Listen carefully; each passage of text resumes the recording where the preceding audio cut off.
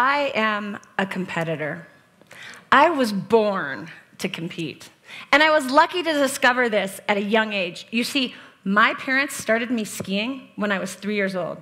And by the time I was seven, I vowed to them that I would ski race in the Olympics.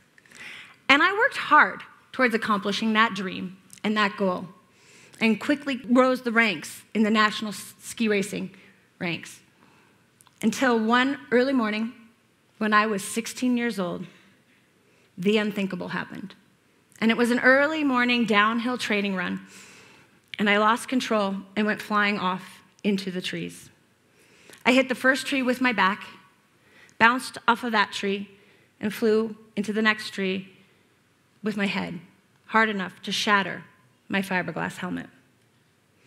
The ski patrol came and stabilized me and rushed me to the local hospital where my father, the radiologist on call, had to read my x rays. And as he put the x ray of where I had impacted that tree up on the screen, he could see the severity of my injury and knew that I needed to go in to emergency surgery to relieve that pressure on my spine. The next morning, I woke up in the intensive care unit, my parents by my side, and the doctors walk in. They pull the covers back and they go, Okay, Muffy, we want you to move your toes. Easy enough. For 16 years, every time I thought move toes, my toes moved. So I thought move toes, look down, and my toes didn't move. And I was devastated. I was scared. I couldn't envision any positive future if I was going to be paralyzed and dependent on a wheelchair for my mobility. I wanted to die.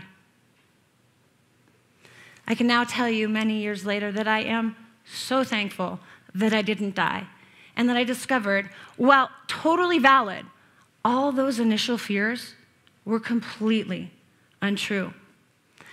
But first, I had to allow myself to go through that struggle, that loss, and learn how to be in that grief. Not to deny it or try to overcome it, but to learn how to embrace it. And at this time, a wise woman, my mom, told me that those feelings and emotions I was having were totally valid. I had sustained a tremendous loss, and it was okay to be sad, mad, scared, pissed off. That was okay. And I needed to give myself permission. We decided we were going to give those days a name, and we called them grieving days. And I would declare when I was having a grieving day, and then I would give myself permission to simply feel whatever feeling or emotion I was having at that time. It's not easy to sit in negative, uncomfortable emotions. It's hard. It's hard to be in that mire of adversity.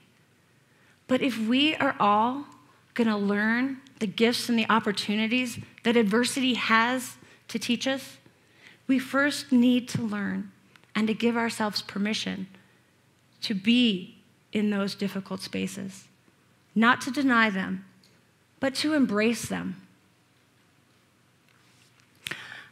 And it was only after I began to embrace the changes that had been thrust upon me from my accident that I was really able to start to move through my challenges.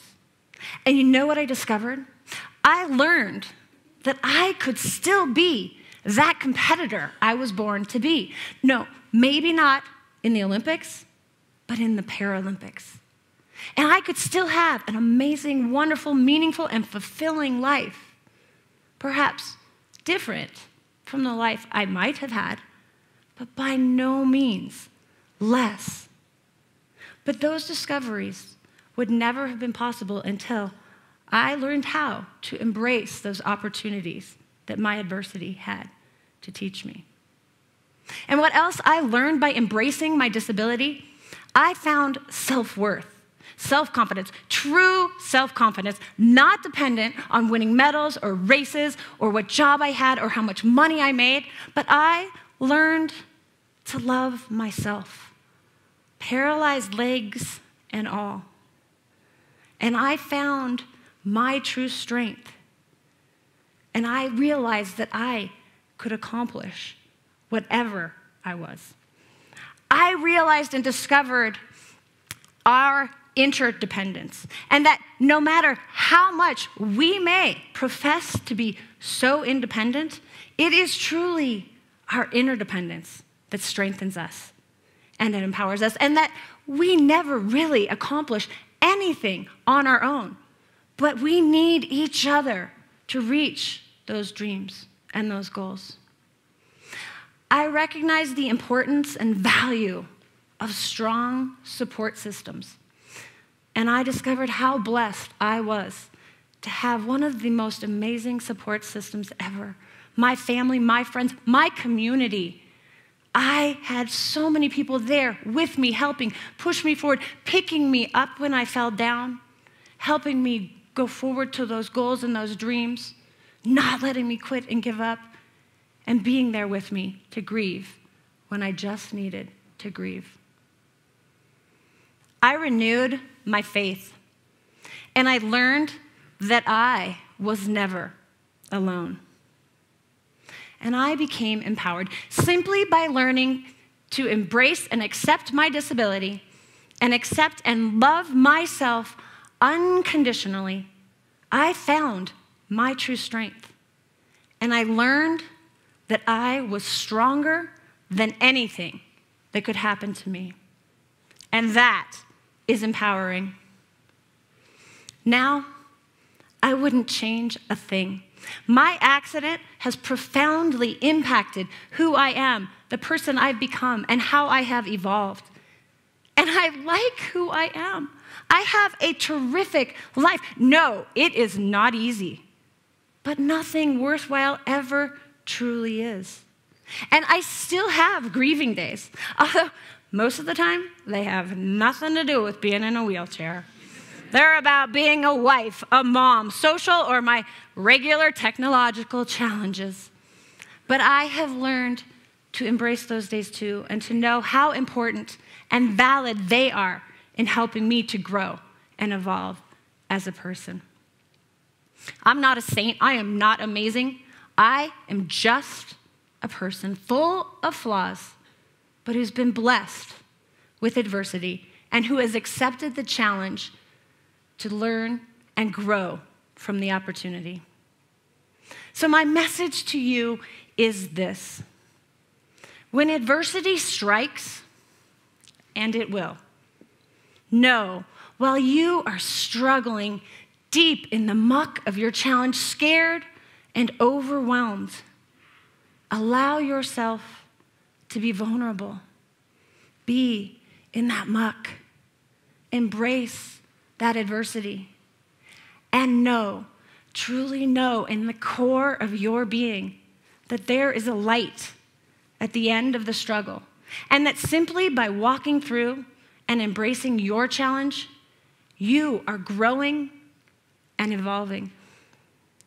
And when you eventually emerge triumphant, you will be stronger and more powerful than you ever knew.